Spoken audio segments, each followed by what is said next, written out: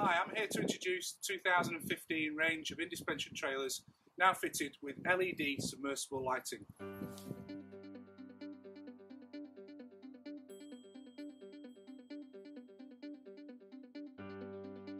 trailer is fitted with an optional triple head lock.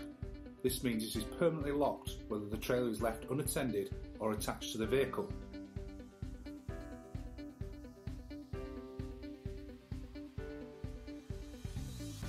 European law now insists that all trailers have both side and front markers. Indespension use IP67 rated submersible lights which are all LED. They are also built into a handy step to allow easy access onto your boat. All the Indespension brake trailers are fitted with a bearing saver here on the hub. This is a simple device that helps prevent water ingress and can be easily topped up with grease using a grease gun on this nipple.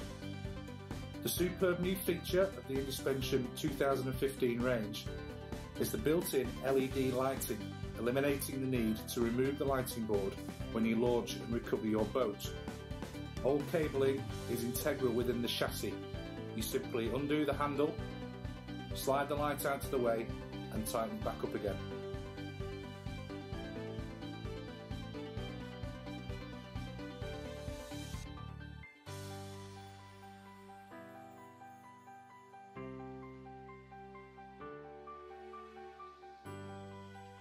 Across the entire range of roller coaster and super roller coaster trailers, we fit a two-speed braked winch. The gearing is easily changed by sliding the lever across and the brake is operated with the palm of your hand to ensure a smooth controlled launch.